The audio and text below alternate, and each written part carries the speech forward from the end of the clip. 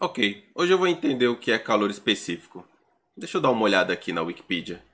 Hum, calor específico é uma grandeza intensiva que define a variação térmica de determinada substância ao receber determinada quantidade de calor, dependendo. Uh... Não, não, não, não. Eu só quero jogar o joguinho.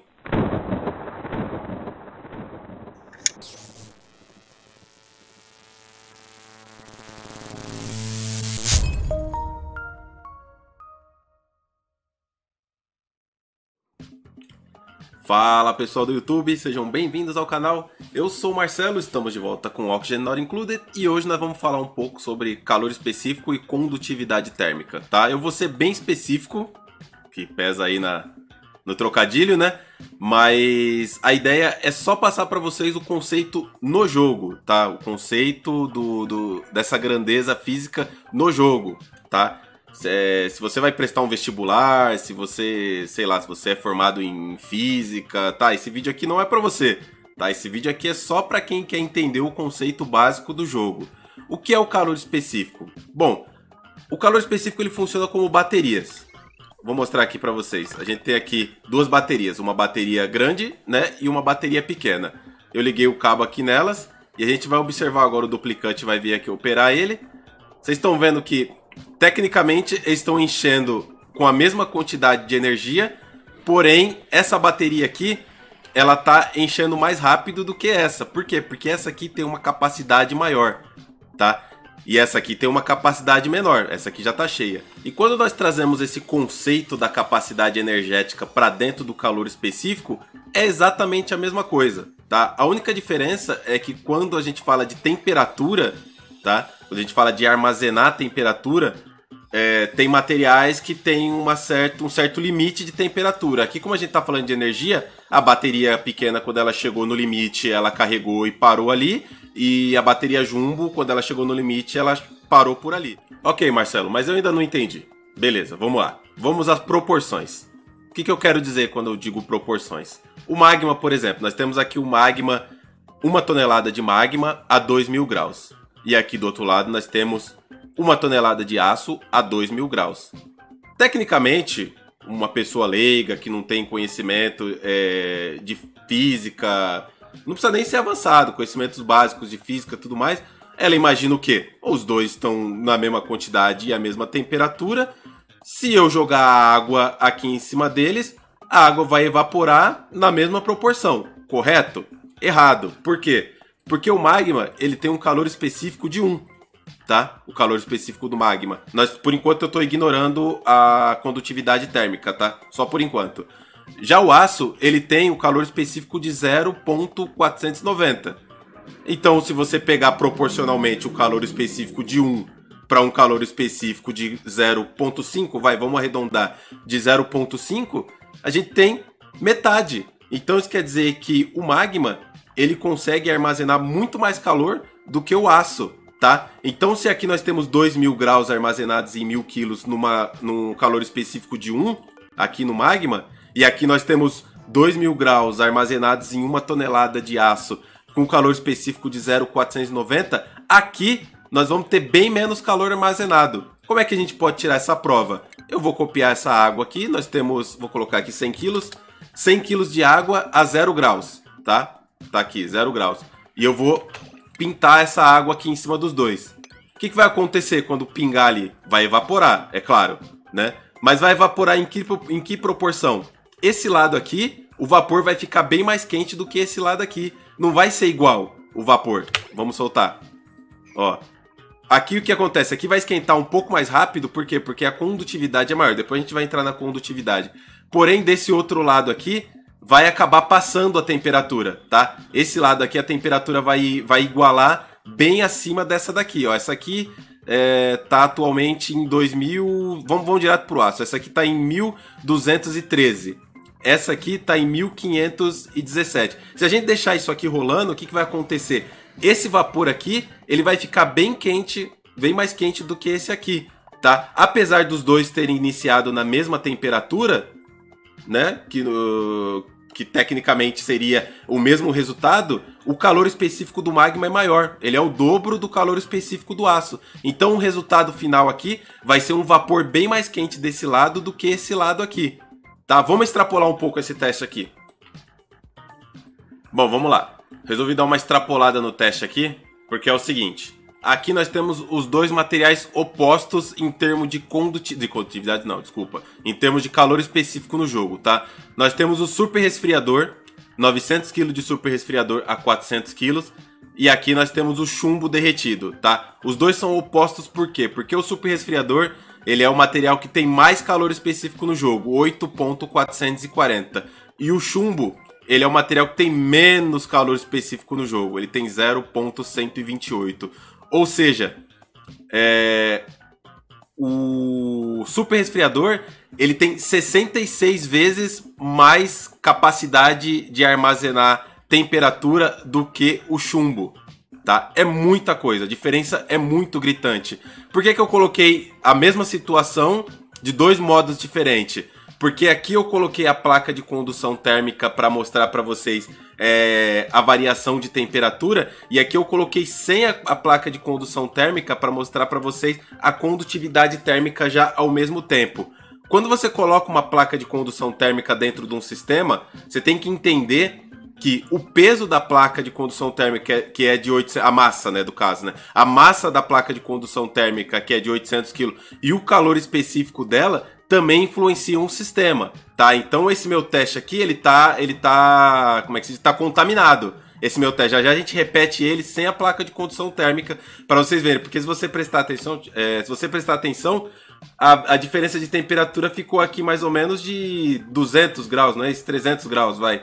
A diferença de temperatura. Era para ser mais, por quê? Porque aqui nós temos 800 quilos de termita que está influenciando essa, a temperatura desse vapor aqui. Calma aí que a gente já volta ali para entender a condutividade. Eu vou soltar a pausa aqui e aqui a gente tem 900 kg de super resfriador e 900 kg de chumbo derretido, os dois a 400 graus. Em cima nós temos lá 100 kg de água a 0 graus. Aqui com placa de condução térmica e aqui sem a placa de condução térmica, tá? Vou soltar a pausa. Olha o resultado. Soltei. Repara que deste lado aqui, ó, já evaporou já, a temperatura ainda do super resfriador ainda tá bem alta, ó, ainda tá em 252, mas tá conduzindo. E, e a tendência é igualar essa temperatura aqui, que vai igualar em mais ou menos é, 248, eu acho que vai igualar mais, é, vai igualar mais ou menos 248, 249, vai igualar essa temperatura aqui. Aqui, o que aconteceu? Virou tudo vapor, tá? A temperatura do chumbo ainda está em 260 graus, mas por que que evaporou tudo de uma vez? Porque a água aqui, o que evaporou ela na verdade foi a massa da placa de condução térmica. Por isso que eu fiz esse outro teste aqui ao lado, sem a contaminação da placa de condução térmica. Vocês vão reparar que aqui, ó, a temperatura do super resfriador está em 203 graus, a temperatura do vapor ainda está subindo com tendência a igualar, Tá? A tendência sempre é igualar a temperatura se os dois materiais estiverem próximos um do outro, tá? E aqui ao lado, pode ver que a água nem evaporou. Por quê? Porque o chumbo, ele tem um calor específico muito baixo. Ele é um material que a gente chama de termorreativo, né? Ele tem um calor específico muito baixo. Então, qualquer coisa que encostar nele, ele vai conduzir essa temperatura rapidamente ou ele vai absorver. Depende só do diferencial de temperatura, né? Se está mais quente ou se está mais frio. Mas o que vai acontecer é que vai ser muito rápido essa troca. Pode ver que a água, ela nem vai evaporar. Ela talvez estabilize ali... Deixa eu acelerar aqui a temperatura. Provavelmente ela vai estabilizar ali em algo em torno de 85, 83 graus, mas ela nem vai evaporar. Pode ver que foi a mesma quantidade, ó. Nós temos aqui, ó, é, 101 quilos de água e aqui a gente tem, somando tudo, 101 quilos de vapor. Tá? Porém, o potencial de aquecimento do super resfriador ele é 66 vezes maior do que o do chumbo. Então o chumbo ele nem consegue derreter isso aqui. É por isso que quando eu abro um, quando eu encontro um vulcão de ouro, eu abro ele já, não importa onde está o sistema, não importa o que seja. Por quê? Porque o ouro, ele tem praticamente, ele só é um pouquinho melhor do que o, o chumbo em termos de condutividade térmica. Ele é 0.129, se eu não me engano, o ouro. Então você encontra o vulcão de ouro, você já abre ele de uma vez por causa disso, porque o calor específico dele é muito baixo, ele mal vai influenciar o sistema em torno, tá? Mesmo que seja 3 mil graus a temperatura, que seja, ele mal vai influenciar o sistema em volta, porque o calor específico dele é muito baixo. É muito baixo mesmo, tá? Vamos repetir o teste aqui do, do magma e do aço, mas agora sem a contaminação. Ok, vamos repetir o teste aqui, ó. Já tá tudo no esquema, tá? Temos lá... É... O jogo ele muda automaticamente para 1013, não sei porquê, mas tecnicamente são mil quilos aqui, uma tonelada de cada lado é, a 2 mil graus, a água a 0 graus é 101.3. Né, ele coloca esse 1.3 aí, não sei, deve ter algum motivo especial no jogo para acontecer isso, mas eu não sei qual que é. Mas não vem ao caso, tá? E agora eu vou soltar a pausa, né? Vamos ver o que, que vai acontecer com a temperatura aqui. Provavelmente esses 100, esses 100 quilos de água aqui vai ser o suficiente para transformar esse magma em rocha ígnea. E aí vai acabar é, estragando um pouco o nosso teste, né? Mas vai ser interessante pra gente ver a velocidade com que isso vai acontecer. Eu vou soltar a pausa, ó. Ó. O magma, por enquanto, ele ainda tá em 1800 graus. Tá vendo, ó? Ele tava em 2000. E aqui, o aço, ele já baixou lá para 1100 graus. Porém, o vapor do aço, do, do aço aqui, ele tá a 1000 graus. O vapor daqui do, do magma, ele ainda tá a 486 graus. O que, que isso significa? Significa que tem mais um fator fora o o calor específico aqui dentro aqui. E esse fator é exatamente a condutividade térmica, que é a capacidade que esse material tem de, é, de transmitir a temperatura que ele possui. Então, por exemplo, o magma, tudo bem, ele tem mais é, calor específico, ele tem um de calor específico, mas a condutividade térmica dele é um também. Já o aço, ele tem metade do calor específico do magma, mas ele tem 53 vezes mais condutividade térmica. Então, em termos de velocidade de transferência dessa temperatura, o aço ele vai conduzir a temperatura 53 vezes mais rápido do que o magma, tá? Ele armazena menos temperatura, mas ele conduz muito mais rápido essa temperatura do que o magma. Então aqui a gente já estabilizou a temperatura a 1078, tá? Não vai mudar, tá? Tá estabilizado, tá igualado. Porém, desse outro lado aqui, o vapor ainda está aquecendo e o magma ainda está a 1760. Vamos acelerar isso aqui para ver o que acontece.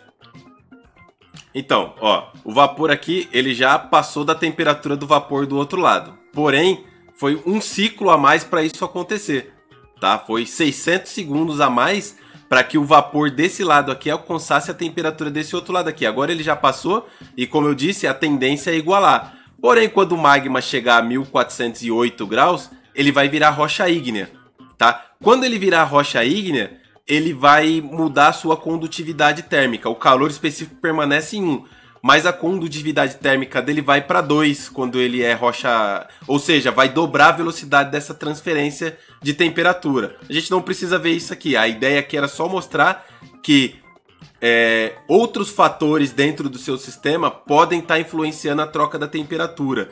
Nesse caso aqui, foi a placa de condução térmica, elas são muito pesadas. As placas de condução térmica têm uma massa de 800 quilos, tá? Todas, todas as placas de condução térmica têm essa massa, tá? Então, se você colocar a placa de condução térmica dentro do seu sistema e você estranhar que o sistema está demorando para mudar alguma coisa, é porque as placas de condução térmica todas elas têm que igualar a temperatura dentro do sistema, tá? O objetivo da placa de condução térmica é igualar a temperatura, tá? Ele vai, o que que ela faz? Ela pega a temperatura de todos os blocos em volta dela, tá? E iguala essa temperatura. Como ela tem uma condutividade térmica alta, tá? Ela transfere, ela faz essa transferência de temperatura para todos os blocos em torno dela, tá? E aí que tá o macete de você usar a placa de condução térmica dentro do seu sistema para igualar temperaturas, é porque ela tem essa função, tá? Ela é o igualador de temperaturas. Beleza? Vamos para o próximo tópico aqui, que é exatamente a placa de condução térmica. Bom, vamos lá para a placa de condução térmica.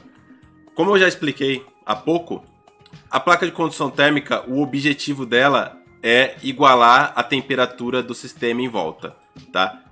Porém, para ela igualar, ela precisa ter um tipo de atmosfera, entendeu? Seja essa atmosfera líquida gasosa ou sólida. Tá? São os três tipos de atmosfera do jogo: líquida, gasosa e sólida. Tá? A transferência, né, o, o, a transferência de temperatura só ocorre nesses três tipos de atmosfera. Tá? No vácuo não ocorre transferência. Tá? Só tem dois materiais que não, não fazem transferência, mas já já eu vou explicar quais são. Tá?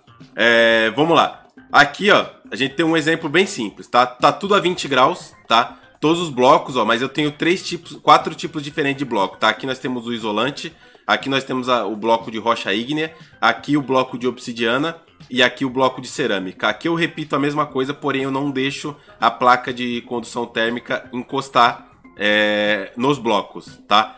Eu vou soltar a pausa para mostrar para vocês a diferença. Vou soltar. Ó, soltei. O que, que aconteceu aqui? No bloco isolante, tá? No bloco isolante, não tem troca nenhuma, tá? O bloco adiabático isolante, ele tem zero, zero de condutividade térmica. Ele é um bloco que, uh, que é como se estivesse no vácuo, tá?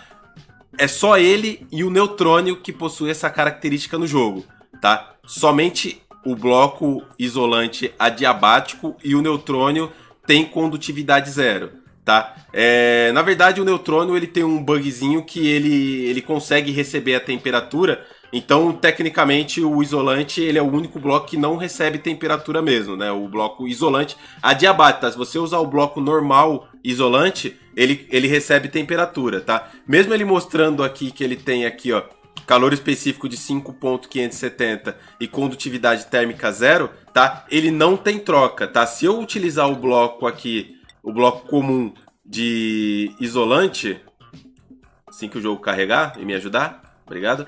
Se eu usar o bloco comum de isolante aqui, ele vai fazer a troca de temperatura. Vou tirar esse bloco daqui, vou limpar, tá? É o mesmo material, porém é o bloco comum. O que, que vai acontecer quando eu soltar a pausa? Tá vendo? Ele começou a trocar a temperatura, ó, 19.8, 19.7, 19.6, ó, tá vendo? É só o bloco isolante adiabático que tem zero, tá? Por isso que ele é um material tão caro no late game, tá? Ele é o único que tem característica de vácuo mesmo, tá? Ele é o único que tem característica de não transferência, tá? O neutrônio, ele também não transfere. Porém, o neutrônio, ele tem esse bugzinho com a placa de condução térmica que é exatamente a mesma coisa, tá? Só que o neutrônio, mesmo ele sendo zero, deixa eu limpar aqui, deixa eu pegar 400 kg de neutrônio aqui, vamos pegar aqui 400 kg de neutrônio, neutrônio, Pera aí que ele tá me trollando aqui, neutrônio, aí, é, aqui ele tá a 0 graus, né? Deixa eu colocar ele é, a 20 graus, que é 300? Não, 300, vai dar 23, 23, ah, tá bom. E vou pintar ele aqui, ó. Vou soltar a pausa. Ele tá mostrando ali que ele tem NA de temperatura, mas quando eu soltar a pausa, é, perdão, o bug é exatamente esse, tá? O bug é exatamente esse, que o neutrônio, ele não diminui temperatura, tá? Se a temperatura dele tá 26.9, vai ficar 20. Eu não consigo abaixar essa temperatura do neutrônio. Porém, se eu vier aqui e copiar, por exemplo, este magma aqui, que está em 1600 Kelvin, vamos colocar ele a 2273 Kelvin, que é equivalente a 2000 graus. E vou pintar ele aqui, deixa eu pôr no leitura de calor aqui, e vou pintar esse magma aqui. O que, que vai acontecer? Olha só que interessante. O neutrônio, ele consegue absorver temperatura tá? Mas ele não diminui. Se eu voltar a baixar essa temperatura aqui dele, vamos copiar essa água aqui e vamos colocar ela a 10 Kelvin e vamos colocar aqui é, mil, né? Uma tonelada. E vou pintar aqui. Ó, o neutrônio, ele não volta, a temperatura dele não retorna, tá? A temperatura do neutrônio só sobe, tá? É um bug que tem no neutrônio, já é antigo já. Inclusive era esse bug que era utilizado para fazer a a turbina antiga funcionar sem parar, né? Que você aquecia o neutrônio com, com magma e colocava a turbina em cima do neutrônio, isso aí permitia que a turbina é, fosse enganada, né? Que a temperatura abaixo do neutrônio fosse enganada, porque o neutrônio não diminui de temperatura, então a turbina nunca conseguia abaixar a temperatura dele, tá? Então, só o neutrônio e o isolante tem essa característica, tá? Porém, o neutrônio, ele aquece, tá? Mas depois que ele aquece, ele não volta mais na temperatura. Ok, retornando aqui à condutividade. Bom, nós tínhamos outros materiais aqui, né? Que é a rocha ígnea, é, o bloco adiabático de cerâmica e o bloco de obsidiana, né? Ou seja, o bloco adiabático de isolante normalmente usa-se só no debug, porque dificilmente você consegue produzir essa quantidade absurda de isolante, porque cada bloco é, custa 400, 400 quilos, tá? É muito difícil você conseguir fazer é, bloco, um sistema com blocos adiabáticos isolante num jogo normal, porque é muito caro, é muito demorado para você conseguir a isoresina para fazer ele, tá? Normalmente o que você utiliza? Você utiliza o bloco de rocha ígnea e o bloco de cerâmica, tá? São normalmente os dois blocos que você utiliza para isolar sistemas. Ou então você faz no vácuo, né? Com vácuo em volta, que aí você tem condutividade zero, né? Você não tem a transferência dessa temperatura. Agora vamos observar o que, que a placa de condução fez aqui nesse sistema, tá? Se a gente olhar aqui, ó, a temperatura já está igualada. Pode ver que os três blocos de baixo eles mantiveram os 20 graus, tá? Mantiveram os 20 graus. Os blocos de cima que estão em contato com a, com a placa de condução térmica, eles igualaram a temperatura, tá vendo? Tá tudo a 17.4, inclusive a água que estava a 0 graus, tá? Olha a diferença de temperatura do bloco adiabático de cerâmica. 17 graus, mas os blocos de baixo estão a 20, porque não estão em contato com a placa de condutividade térmica, tá? Eles não estão em contato. Tá acontecendo troca de temperatura aqui? Sim, está, mas é muito baixa e muito lenta. Bom, vocês notaram que é, a cerâmica ela tá mais fria do que o bloco de rocha ígnea. Por quê? Porque o bloco de rocha ígnea ele tem um calor específico de 1. A cerâmica tem um calor específico de 840, tá? Já aqui, a obsidiana tem um calor específico de 0.2. Então vai esfriar bem mais. Por quê? Porque ela armazena menos temperatura. Então aquela água a 0 graus conseguiu resfriar a obsidiana muito mais do que esfriou a, a cerâmica e, e, muito, e muito menos né, do que esfriou a rocha ígnea tá? A rocha ígnea aqui manteve em 17.4 porque ela armazena mais temperatura, né? A cerâmica é, armazena um pouco menos, então ficou a 17. E a obsidiana armazena bem menos, então ficou a 12 graus, tá? Esse é o motivo de você não poder encostar suas placas de condução térmica nos blocos adiabáticos no seu sistema tá? E é por isso que eu fiz esse outro lado aqui, repetindo os mesmos materiais. Isolante não importa, a gente sabe que ele não vai conduzir, né? Nem, nem abaixo nem acima. Olha aqui, rocha ígnea, isolante e... Eu fiz isolante aqui também, mas aqui era para ser obsidiana, mas de qualquer maneira não ia alterar a temperatura, tá? Ó, todos ficaram a 3.7 graus aqui, por quê? Porque eu não tô encostando a placa de condução térmica é, no bloco, tá? É muito importante você não encostar a placa de condução térmica no bloco é, adiabático por esse motivo, tá? Se eu construir aqui, ah, eu fiz tudo de isolante aqui, cabeção. Bom, mas não vai fazer diferença. É, seria pra, era para ser o mesmo bloco daqui, mas não mudaria. Estaria tudo aqui a 20 graus, tá? Por quê? Porque a placa de condução térmica ela não está encostando nos blocos, tá? Ela só pode encostar no bloco isolante, tá? Qualquer outro bloco ela vai transferir temperatura tá? Qualquer outro bloco vai ter essa condutividade de temperatura, tá? Mesmo que seja isolante. Por isso que os meus sistemas, vocês veem quando eu faço, eu não encosto a placa de condução térmica no bloco adiabático, nunca. Bom, e para finalizar aqui a respeito da aplicabilidade, né, dessa, desse conhecimento que você adquiriu nesse vídeo aqui, espero que tenha adquirido, né, nesse vídeo aqui, eu tenho aqui um exemplo muito simples, tá? Eu tenho aqui quatro baterias, tá? Quatro baterias, cada um feita de um material diferente. Então eu tenho aqui uma bateria de amálgama de ouro, eu tenho uma bateria de minério de ferro, uma bateria de aço e uma bateria de minério de alumínio, tá? Cada um tem um calor específico diferente, tá? Então, amálgama de ouro 0.150, uh, ah, minério de ferro 0.449, tá? o aço 490 e o minério de alumínio 0.910 tá? O que, que eu vou fazer? Eu vou ligar a energia e vou colocar aqui no painel de temperatura para vocês entenderem. Então, do material com menor calor específico para o material com maior calor específico. Vou soltar a pausa. Olha o que está acontecendo aqui. A temperatura da bateria, deixa eu acelerar. Aí. A temperatura da bateria de amálgama de ouro já está em 25 graus. Olha a temperatura lá da, da bateria de minério de alumínio. Ela ainda está a 21 graus. É por esse motivo que você tem que escolher com cuidado o tipo do material que você vai construir o seu equipamento. Pode ver que aqui já está amarelando já a bateria de amálgama de ouro.